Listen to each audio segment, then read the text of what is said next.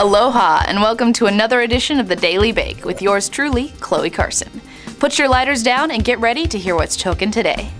We'll start today's session off in the music world, where the Smokeout Festival, an all day party thrown by Cypress Hill and sponsored by Weed Maps, just made some huge additions to its lineup.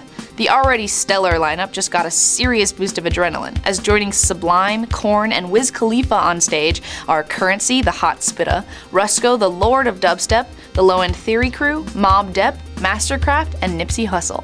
The festival takes place the first weekend in March and will be one you don't want to miss. In other news, a Los Angeles native Adam Blumenkranz recently attempted to turn jet blue into jet green on a flight from Fort Lauderdale to Newark, New Jersey. Blumenkranz made the boneheaded decision to light up while on board the plane, which is clearly about as boneheaded of a move as you can make. Medical marijuana patients, and really any recreational user, should simply know better. Actions like these are always a step backwards for the marijuana community, as they bring a negative light on stoners around the globe. While we understand the need to stay medicated, especially when you're about to enter Newark, you should always be sure to keep that lighter parked until you're on land. Long flights are why edibles and products like Tetra Labs Gold Caps were invented. Let's head to the Midwest, where Kansas is looking like it won't be Dorothy's Kansas for much longer. The Sunflower State is pushing to make medical marijuana legal. The newly drafted bill has drawn support from members on Kansas's Committee of Commerce and Economic Development activists recently flooded the Capitol building in Wichita to let their voices be heard. Hopefully, a new kind of flower will soon be flourishing in Kansas.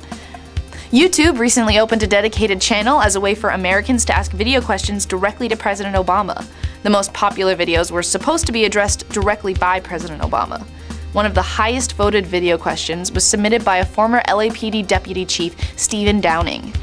With over 850,000 Americans arrested in 2010 for marijuana charges alone, and tens of billions of tax dollars being spent locking up nonviolent marijuana users, isn't it time we tax and regulate marijuana?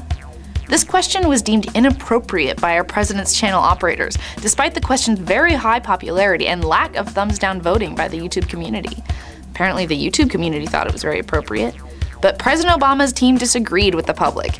In response, Downing wrote a stellar op-ed response for the Huffington Post that I encourage that you check out. Head over to the YouTube channel now and cast your vote for the cause.